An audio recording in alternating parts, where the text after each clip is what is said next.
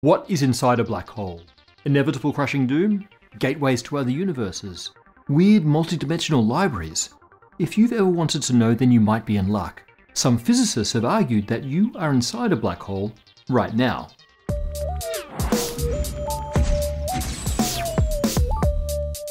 Einstein's ridiculously successful general theory of relativity has never failed. But we know it must fail at the centres of black holes and at the Big Bang. Both of these involve matter being packed to infinite densities. They are singularities where the mathematics of GR breaks down. Well, it turns out that black holes and the Big Bang have more in common than vexing Einstein. They have mathematical similarities to each other that have led some physicists to believe that the Big Bang is in fact the singularity of an absurdly gigantic black hole. Let's figure out how crazy this proposition really is. First up, black holes. Collapse any chunk of matter far enough and it gets stuck in its own gravity. In general relativity, that looks like a point of infinite density surrounded by an event horizon. We can think of the event horizon as the surface where the flow of space is like a river moving at the speed of light. Nothing can swim against that flow. From the outside, the black hole looks like an orb of blackness, at a particular location in space due to the fact that nothing, not even light, can travel back out from below the event horizon. The universe also has a singularity and an event horizon. The singularity is the Big Bang, which we think of as a point in time at the beginning of the universe when all matter was compressed to infinite density and all points in space overlapped. From the Big Bang, space expanded and it's still expanding. That expansion gives us our event horizon. If space is expanding evenly everywhere, then there are distant regions of the universe that are being propelled away from us faster than the speed of light. That means there's a surface at a particular distance that represents the limit of our observations, in that we can never know about any event that happens beyond that surface. This is the cosmological event horizon. Now, it's somewhat more complicated. For example, we're still receiving light from objects that are now beyond that horizon because it was emitted by those objects before they cross the horizon. Also, the accelerating expansion of the universe means that the cosmological event horizon is closer to us than the spot where the recession equals the speed of light. But the effects are the same. No events that happen now beyond that horizon can ever be seen. Complications aside, there are striking similarities between the black hole and the universe. The obvious difference is that the black hole singularity seems to us to be a point of infinite density in space, while the Big Bang singularity is a time of infinite density that included all space. But actually, that difference isn't as different as it sounds. Both the Big Bang and the black hole singularities do occupy all space.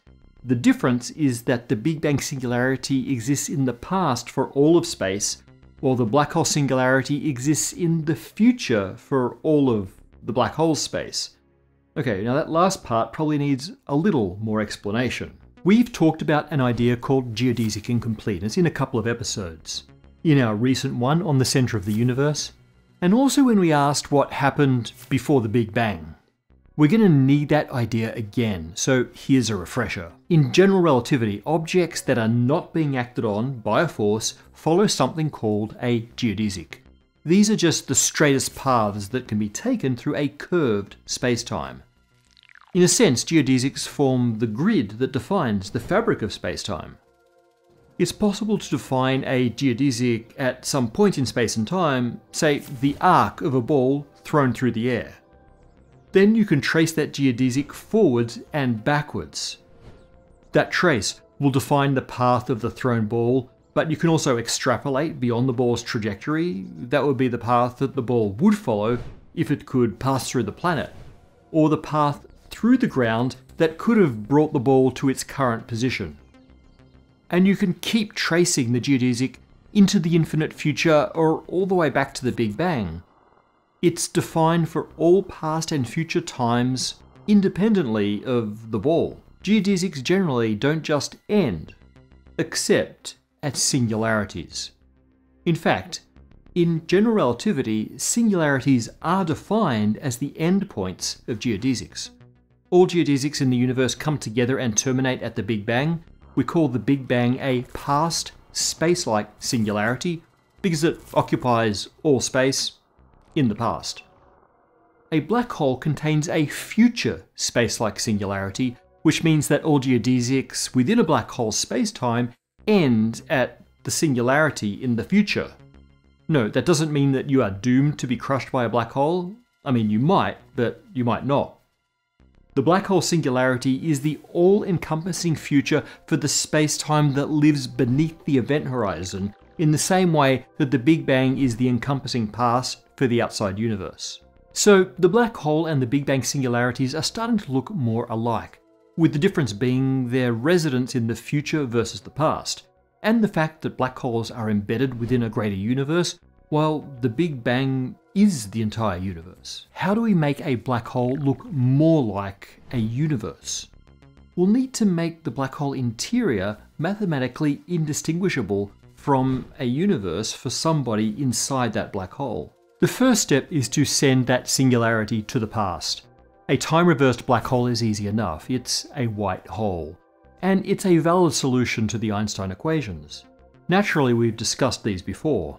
The past space-like singularity of the white hole is surrounded by an event horizon that is the opposite to the black hole event horizon. It can only be crossed from the inside to the outside. Space flows at the speed of light across the event horizon from within. That's starting to look like our universe, a past space-like singularity and an event horizon that can't be crossed from the outside. But there still is an outside in which the white hole just appears as a bright but localized point in space. The outside region doesn't share the same singularity origin as the white hole. On the other hand, anyone inside the white hole wouldn't know that so could they be fooled into thinking that they are in a regular universe? At first glance, despite the similarities, the interior of the white hole looks nothing like our universe. Now, the white hole was discovered by messing around with the coordinates of the OG black hole solution by Karl Schwarzschild. The same trick gave us wormholes and mirror universes, and we mapped those weird spaces in a previous episode. The interior of this type of white hole looks nothing like our universe. For one thing, it's made of pure spacetime, no matter included, and it's highly inhomogeneous.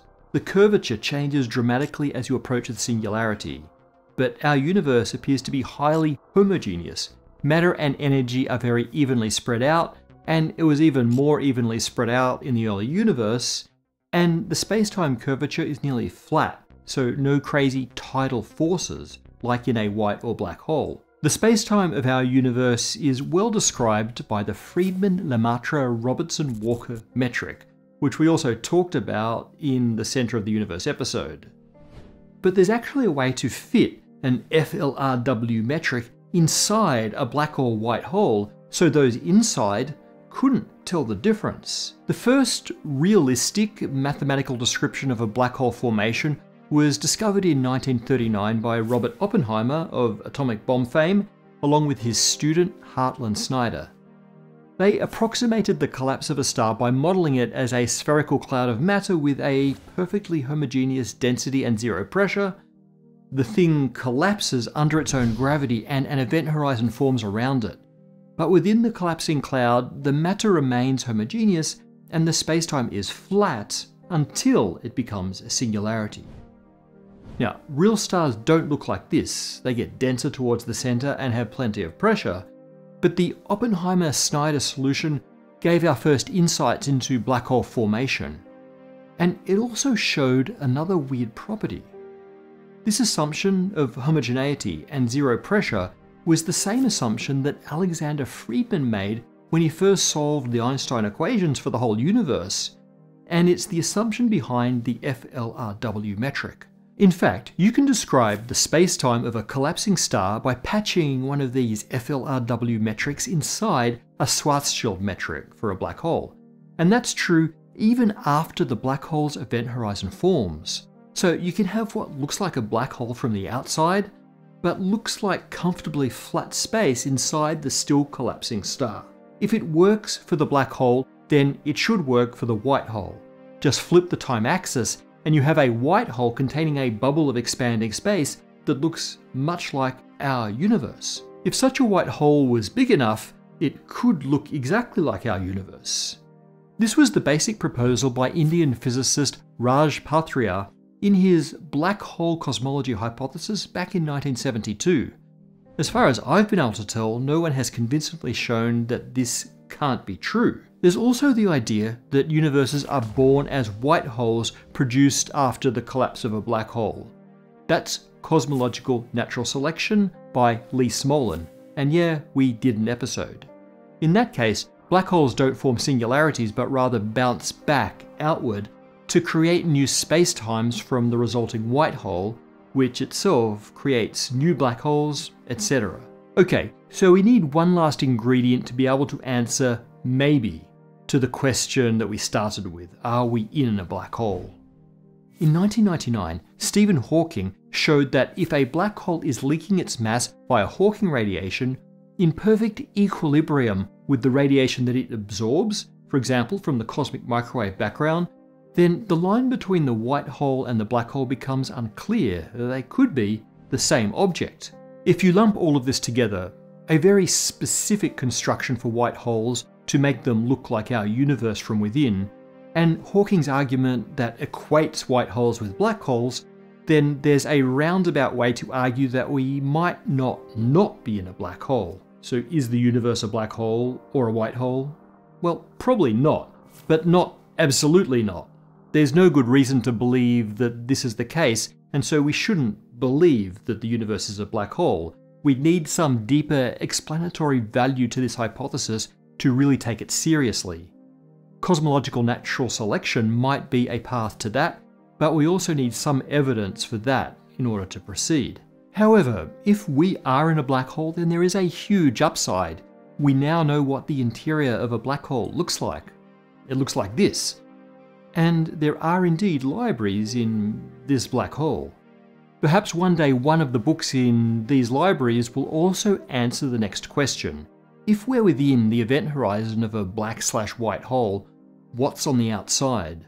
Maybe a universe inhabited by people asking the same question with the same answer that they are in a black hole, and so on ad infinitum in a series of black holes forming an infinitely nested spacetime.